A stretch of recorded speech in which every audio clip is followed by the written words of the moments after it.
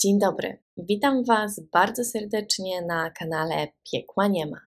Dzisiaj mam dla Was sprawę, która wydarzyła się zaledwie 3 lata temu, wydarzyła się w Wielkiej Brytanii i dotyczy Aleksandry Morgan. Zapraszam. Dzisiaj przenosimy się do Cranbrook w hrabstwie Kent. To tam mieszkała i pracowała 34-letnia Aleksandra Morgan. Alex, bo to tak raczej zwracali się do niej jej znajomi oraz rodzina, była mamą dwójki dzieci i pracowała jako psia fryzjerka, jako grumerka.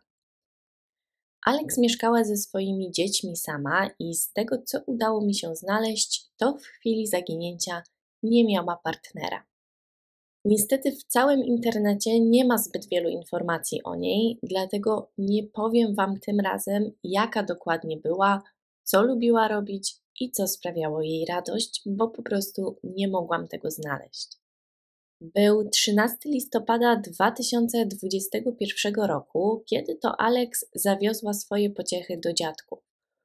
Umówiła się ze swoimi rodzicami, że dzieci zostaną na kilka dni u nich, bo Alex miała jechać na weekend do spa.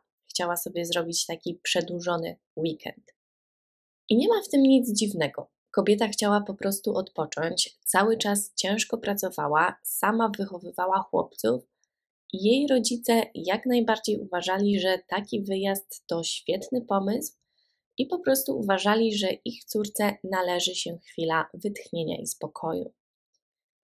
Także Alex w sobotę zostawiła dzieci z dziadkami, a 14 listopada ruszyła w drogę. Po dzieci miała wrócić 17 listopada. Alex przez te kilka dni do swoich rodziców i do swoich dzieci nie dzwoniła, ale też oni nie założyli na początku, że stało się coś złego. Trochę się zdziwili faktycznie, że do nich nie dzwoni, ale doszli do wniosku, że pewnie bardzo tego odpoczynku potrzebowała i że na pewno wróci z naładowanymi bateriami, super nastawieniem do życia i po prostu powie: Przepraszam, że nie dzwoniłam, potrzebowałam tego czasu dla siebie. Problem pojawił się wtedy, gdy Alex tego 17 listopada po dzieci jednak nie przyjechała, nie dała też znać, że wyjazd jej się przedłuży, albo że ma jakiś kłopot, że popsuje się samochód na trasie i że potrzebuje pomocy. Nie odbierała telefonów i nie odpisywała na SMSy. Kiedy kobieta nie przyjechała też i kolejnego dnia, to mama Alex postanowiła skontaktować się z policją i zgłosiła zaginięcie swojej córki. 18 listopada 2021 roku oficjalnie rozpoczęto śledztwo w sprawie zaginięcia Alex. Oczywiście jedną z pierwszych rzeczy, które zrobiła policja, była wizyta w domu kobiety, ale tam śledczy niczego nie znaleźli. Dom wyglądał na schludny, nie było widać śladów walki, nie było śladów włamania. Sprawdzenie domu kobiety nic więc do śledztwa nie wniosło. Detektywi od rodziców Alex dowiedzieli się, że ta pojechała właśnie do spa. Jej rodzice nie znali jednak dokładnego adresu, ale pamiętali, że córka powiedziała im, że to spa znajduje się w Jorku. Śledczy nie byli tym zachwyceni, bo York znajdował się kilka dobrych godzin jazdy z hrabstwa Kent i po prostu potencjalny obszar, na którym kobieta mogła zaginąć, stał się nagle ogromny. Policjanci jednak do sprawy podeszli z głową i uznali, że najpierw spróbują wyśledzić pojazd kobiety, używając oczywiście albo kamer monitoringu, ale postanowili użyć też kamer automatycznego rozpoznawania tablic rejestracyjnych. I to na tej podstawie udało się ustalić, że rankiem 14 listopada, wkrótce po tym jak Alex opuściła swój dom, to została uchwycona przez jedną z takich kamer na stacji benzynowej w Cranbrook, niedaleko jej miejsca zamieszkania. O godzinie 7.30 nad ranem Alex podjechała na stację swoim białym Mini Cooperem, a następnie zatankowała. Na stacji wzięła jeszcze kilka przekąsek, zapłaciła za benzynę i powiedziała kasjerce, że wybiera się do spa. Policjanci jednak ustalili, że gdy kobieta wsiadła w samochód i odjechała, to wcale nie zaczęła kierować się na północ w stronę Jorku, a zaczęła jechać na południe. Śledczy zaczęli się więc zastanawiać, dlaczego kobieta jechała w zupełnie przeciwną stronę i przede wszystkim, dlaczego miała potrzebę kłamać i to nie tylko skłamała, mówiąc swojej rodzinie, gdzie jedzie, ale też skłamała kasjerce, przypadkowej osobie. Policjanci próbowali ustalić jej dokładną trasę właśnie przy pomocy tych kamer, które sczytują numery tablic, ale problem pojawił się, gdy Alex zaczęła wybierać bardziej takie wiejskie drogi i nie jechała już drogami szybkiego ruchu, ani nawet głównymi ulicami niektórych miejscowości. Policjanci po jakimś czasie musieli sobie więc dać po prostu z tym spokój, bo nigdzie by to ich nie zaprowadziło. W pewnym momencie samochód Alex po prostu przestał pojawiać się na nagraniach i nawet jeśli pojawiłby się gdzieś dużo, dużo dalej, no to ciężko byłoby ustalić jakąś taką ciągłą trasę. Kolejnym więc krokiem było sprawdzenie billingów kobiety i na tej podstawie udało się ustalić, że po raz ostatni jej telefon złapał zasięg z wieży telefonicznej, która znajdowała się w Hastings w hrabstwie East Sussex. Później jej telefon albo się rozładował, albo został wyłączony.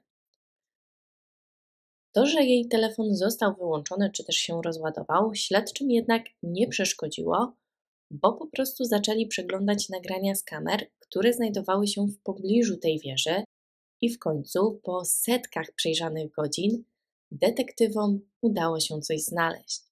Na jednym z nagrań policjanci zauważyli, że samochód Alex zatrzymał się przed złomowiskiem w Hastings. To złomowisko znajdowało się przy bardzo takiej cichej wiejskiej uliczce. Pojazd podjechał w to miejsce na krótko przed godziną ósmą rano. Cała podróż zajęła więc Alex zaledwie pół godziny. Na nagraniu widać, że kobieta wysiada z samochodu i że przez chwilę przed nim czeka. Następnie obok złomowiska przyjeżdża złoty jaguar, który następnie skręca w prawo w stronę pól uprawnych. Gdy Alex to widzi, to wsiada w swój samochód i rusza za nim. Kim więc był kierowca Jaguara i czy mógł mieć coś wspólnego z zaginięciem Alex? 23 listopada 2021 roku policjantom udało się ustalić, że Alex i ta niezidentyfikowana jeszcze osoba pojechała do Little Bridge Farm i po ustaleniu tego śledczy od razu udali się w to miejsce. Śledczy zdawali sobie jednak sprawę, że ustalenie tego wszystkiego zajęło im aż 5 dni i wiedzieli, że Alex na tej farmie może po prostu już nie być. Funkcjonariusze dotarli na farmę wieczorem 23 listopada.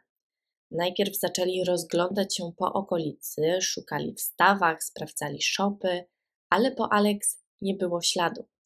Nigdzie też nie znaleziono jej samochodu.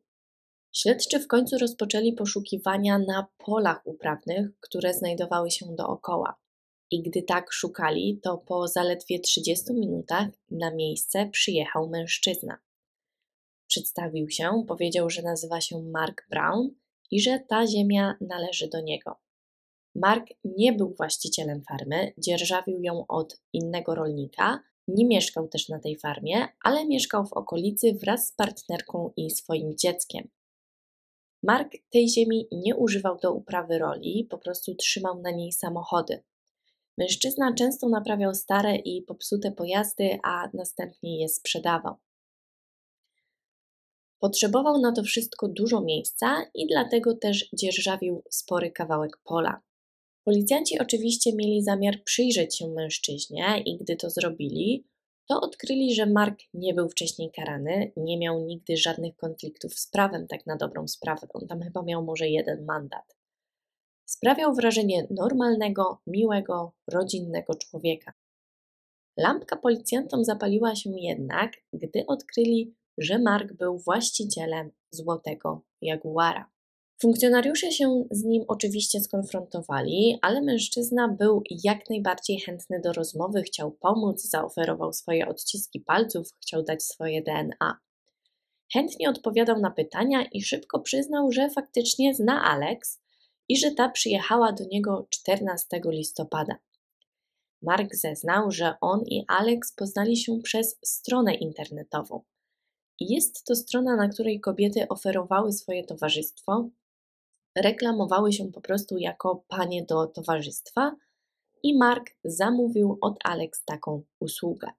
I tutaj wyszło na jaw, że Alex pracowała jako pani do towarzystwa, ale był to jej ogromny sekret.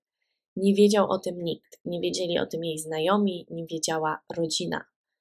Mark po raz pierwszy nawiązał kontakt z dziewczyną w czerwcu 2021 roku, jakieś 5 miesięcy wcześniej.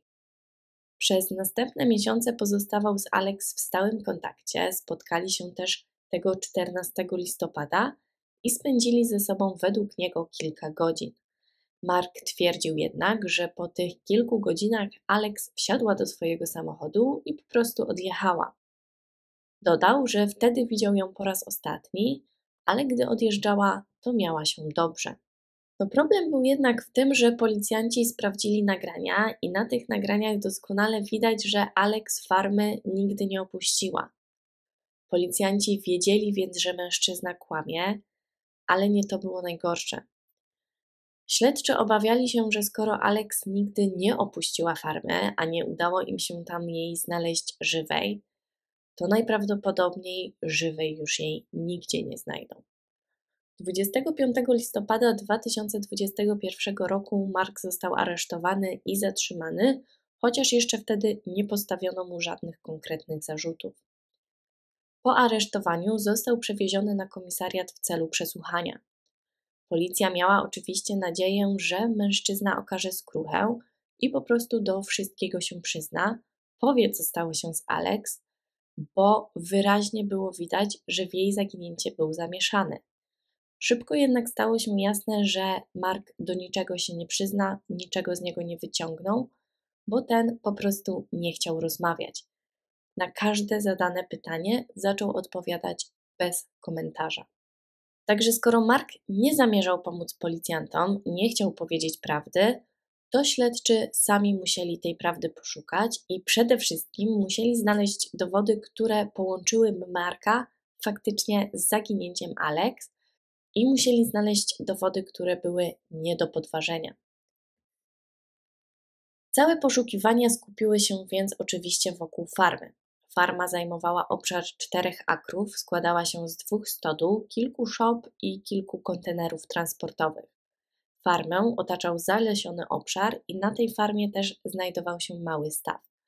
Policja miała więc duży teren do przeszukania i mnóstwo pomieszczeń, budynków do dokładnego przeszukania.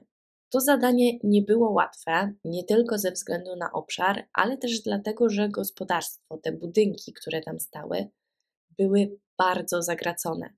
W stodołach panował ogromny bałagan, przez który policjanci musieli się dosłownie przedzierać. Odnotowano jednak, że znaleziono kilka interesujących rzeczy. Znaleziono na przykład kilka rodzajów broni, znaleziono pistolet oraz strzelbę. Znaleziono dużo, duże ilości taśmy klejącej oraz opaski zaciskowe. Śledczy zaczęli się zastanawiać, czy może Mark użył tych przedmiotów na Alex. Najbardziej jednak niepokojącym odkryciem okazał się jeden z kontenerów. W środku większego kontenera znajdował się mniejszy, i tam policjanci odkryli jakby mini pokój, mini mieszkanie. W środku była między innymi mikrofalówka oraz materac. Wydawało się i po prostu to wyglądało, jakby w tym kontenerze ktoś mieszkał. Co ciekawe, to zamki jednak nie znajdowały się w środku, jakby jeżeli ktoś tam faktycznie mieszkał, to nie miał zamka, by się zamknąć i po prostu, no nie wiem, no, dla bezpieczeństwa powiedzmy, ale zamki znajdowały się na zewnątrz. Ktoś był więc w tym kontenerze po prostu zamykany i nie miał możliwości wyjścia. Policjanci byli prawie pewni, że ktoś tam na jakimś etapie musiał być przytrzymywany. Pytanie tylko, czy była to Alex. I tutaj dodam Wam, że oprócz tego, że przeszukano farmę, to policjanci oczywiście też przeszukali dom Marka. W domu również panował ogromny bałagan. Pokoje były przepełnione syfem, najróżniejszym syfem i niepotrzebnymi rzeczami. W domu znaleziono jeszcze więcej taśmy typu duct tape, a także jeszcze więcej opasek zaciskowych. Znaleziono również kajdanki oraz pochowane noże. Bardzo, bardzo dziwnego odkrycia policjanci dokonali na strychu, bo na strychu znaleziono torby, które zawierały ludzkie odchody. No i po tym przeszukaniu farmy oraz domu Marka, policjanci postanowili raz jeszcze przeszukać dom Alex. Tym razem zrobili to dużo dokładniej. Wiedzieli też raczej, że chcą coś znaleźć. I tym razem zauważyli, że kobieta zostawiła w salonie odręcznie napisaną notatkę. Zostawiła ją dla syna i na tej notatce było coś o jeździe na rolkach. Okazało się, że jej syn bardzo lubił właśnie jazdę na rolkach i że pod łóżkiem trzymał pudełko z rolkami. Gdy policjanci je otworzyli, to zobaczyli, że w środku jest 2000 funtów, a także kolejna karteczka z napisem, że jeśli coś się stanie Alex, to te pieniądze są właśnie dla chłopców. Policjanci zaczęli więc od razu myśleć, że Alex spodziewała się, że stanie jej się coś złego. W domu policjanci odnaleźli również telefon na kartę, którego Alex używała do tych rozmów towarzyskich. Na tym telefonie znajdowały się m.in. rozmowy z Markiem. I w ten sposób policjanci odkryli, że kilka tygodni wcześniej Mark powiedział, zaproponował Alex, że zapłaci jej 100 tysięcy funtów, jeśli ta pozwoli się nagrać, zrobić z nią jakiś filmik. Alex uważała chyba, że mężczyzna naprawdę jej te pieniądze da, bo szukała nawet w internecie, ile potrzebuje na depozyt na dom. Alex była szczęśliwa, bo potrzebowała takich pieniędzy. Sprawdzała w internecie nawet jak założyć własną firmę. Chciała się pewnie usamodzielnić. Z drugiej strony, z jej działań jasno wynikało, że Marka musiała się choć trochę obawiać, trochę się go bała, bo jeśli byłoby inaczej, to przecież nie zostawiłaby pieniędzy, nie zostawiłaby karteczek i nie zostawiałaby tych wszystkich małych wskazówek. Toku śledztwa udało się ustalić, że Alex zginęła najprawdopodobniej 17 listopada. Na wieczornym nagraniu z tamtego dnia, i tutaj znowu to nagranie zostało nagrane przez złomowisko, widać jak Mark jedzie swoim minivanem, wyjeżdża z farmy, a za nim podąża biały Mini Cooper. Widać jednak, że nie prowadzi go Alex, a samochód był prowadzony przez jakiegoś mężczyznę. Dość szybko udało się ustalić, że mężczyzna ten nazywał się Darren Ripley. Mężczyzna zjawił się na komisariacie i zeznał, że współpracował z Markiem. Często pomagał naprawiać mu samochody i pomagał przy sprzedaży. 17 listopada Mark poprosił go, by ten pomógł mu przetransportować białego Mini Coopera. Darren dodał, że nie zastanawiał się, czyj to jest samochód, w ogóle nie myślał, że coś się stało, że Mark ukradł ten samochód albo że komuś go zabrał. Po prostu założył, że Mark znowu kupił jakiś pojazd. Darren zeznał, że pojechali w miejsce, które znajdowało się niecałe 7 km od farmy. No i gdy policjanci udali się w to miejsce, to faktycznie samochód Alex znaleziono, ale w środku nie było śladu po kobiecie.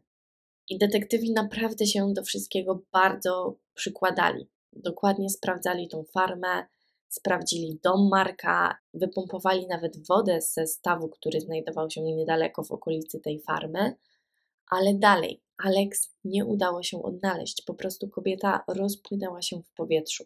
Policjanci byli coraz bardziej sfrustrowani, bo wydawało im się, że nigdzie nie mogą namierzyć Alex. Wydawało im się, że ona weszła do tej farmy i po prostu przepadła.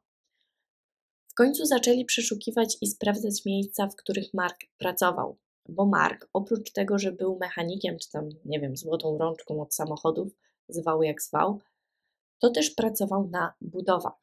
Policjanci dowiedzieli się, że mniej więcej w czasie zaginięcia Alex, Mark pracował na budowie w Seven Oaks w hrabstwie Kent.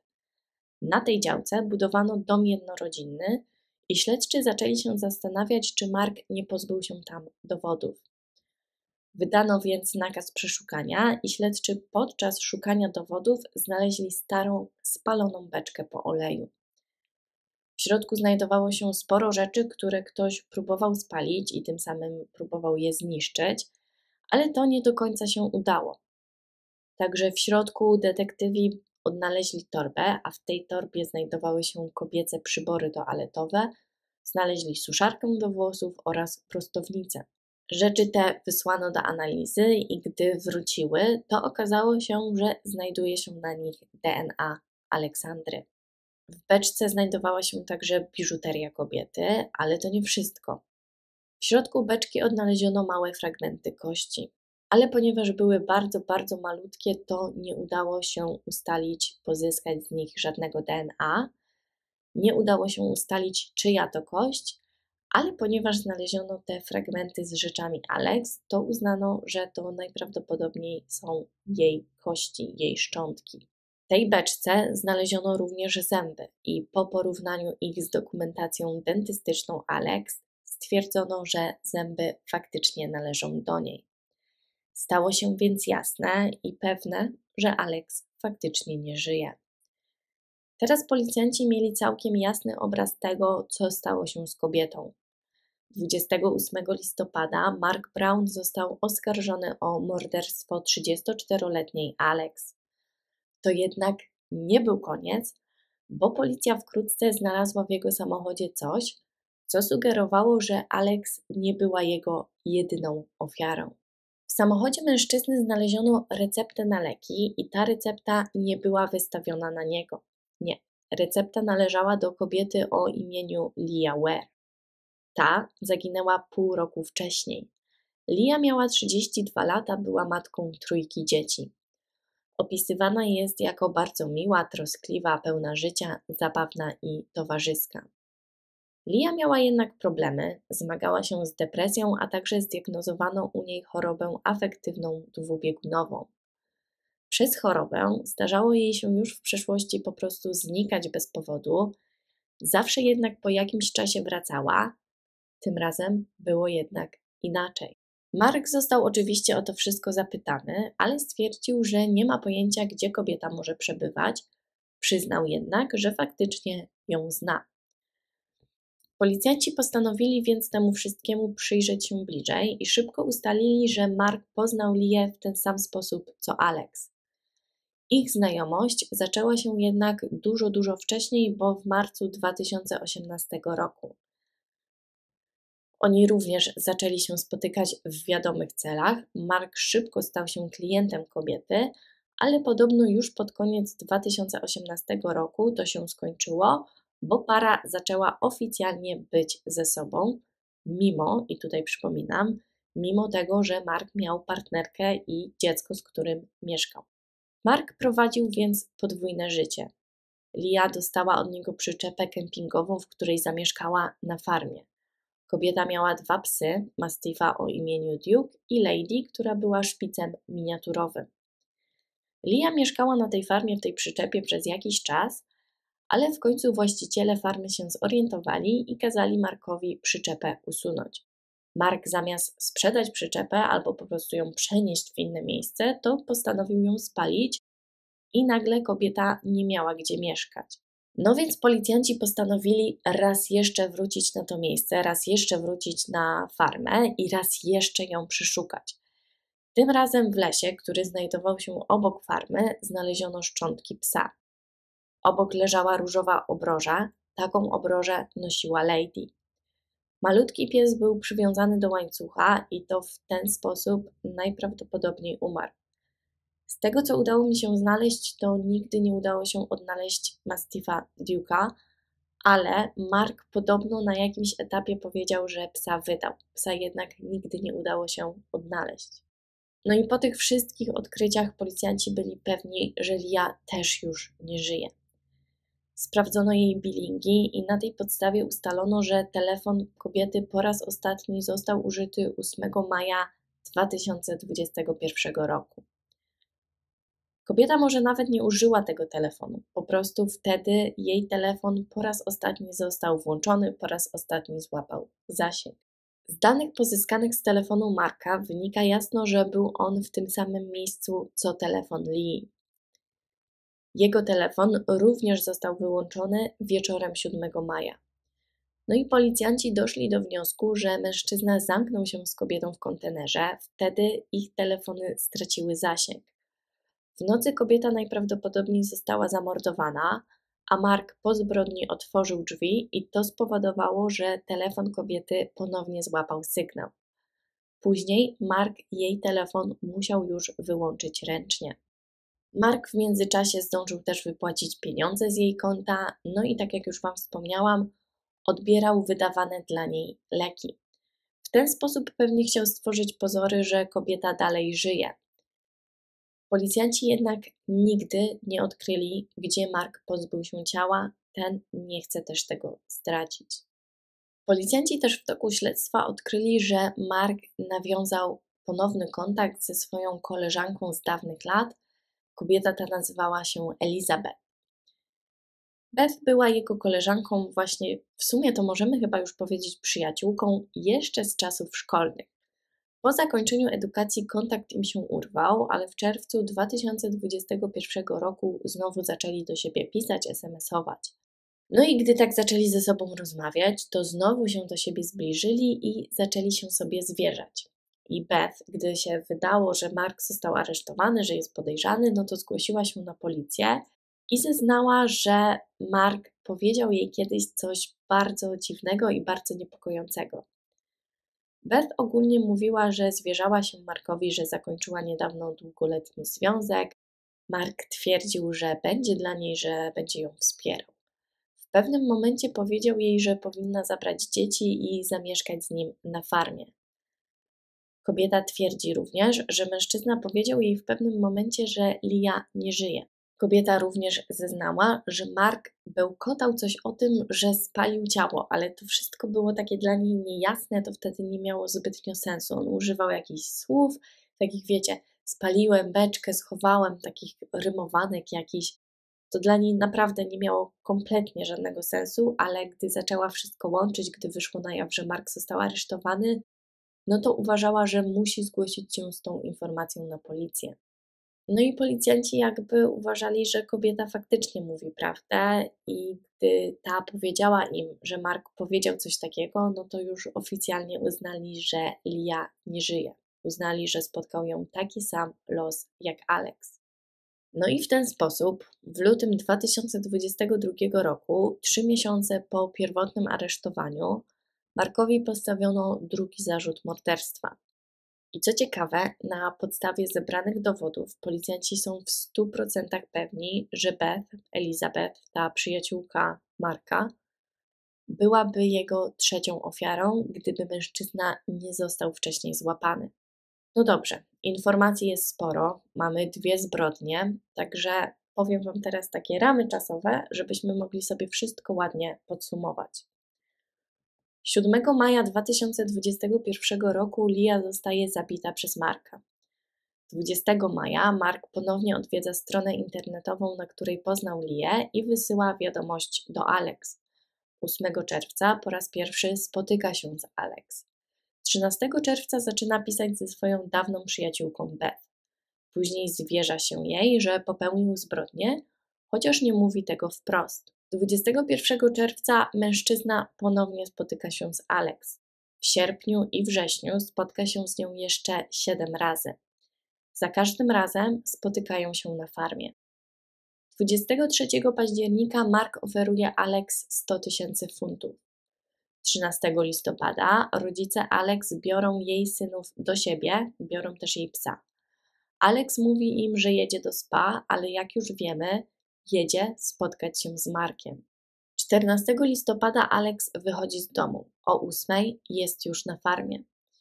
18 listopada jej zaginięcie zostaje zgłoszone na policję, a 20 listopada śledztwo rusza już tak na dobre.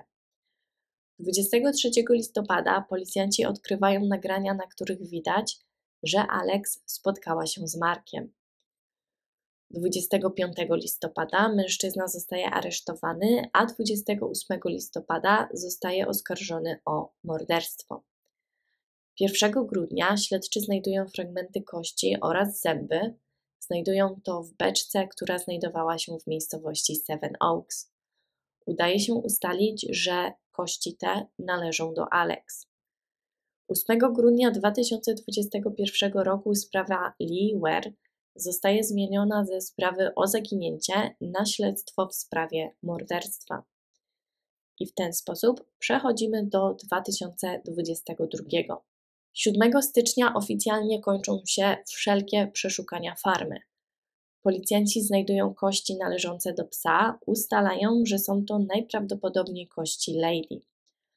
1 lutego Mark zostaje oskarżony o kolejne morderstwo.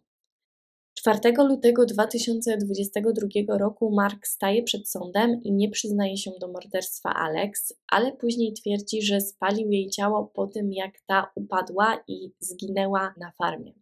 25 marca nie przyznaje się do popełnienia drugiej zbrodni. 17 października 2022 roku rusza jego proces. 41-latek został opisany jako prowadzący podwójne życie i uznano, że mężczyzna nie wykazywał żadnych oznak przemocy przed popełnieniem tych zbrodni. W czwartek, 1 grudnia 2022 roku, ława przysięgłych złożona z 10 mężczyzn i dwóch kobiet potrzebowała nieco ponad 10 godzin, by uznać Marka Brauna za winnego. Mężczyzna został uznany za winnego w obu przypadkach. Gdy odczytywano werdykt, to Mark patrzył tempo przed siebie. Sędzia Nicholas Hillard odroczył ogłoszenie wyroku do 13 stycznia 2023 roku, wskazując, że jest to sprawa niezwykle poważna. Prokuratura powiedziała, że Brown nigdy nie przyznał się do swoich działań, twierdząc, że śmierć Alex była wypadkiem. Stworzył też sieć kłamstw, by ukryć prawdę o drugiej zbrodni. 13 stycznia 2023 roku sędzia skazał Marka na dożywocie z możliwością ubiegania się o zwolnienie warunkowe po upływie 49 lat. Od wyroku odliczono mu 380 dni, które spędził już w areszcie. I to już wszystko na dzisiaj. Dziękuję Wam bardzo serdecznie za wysłuchanie tego odcinka i zachęcam Was do zasubskrybowania kanału oraz zostawienia łapki w górę. Do usłyszenia następnym razem.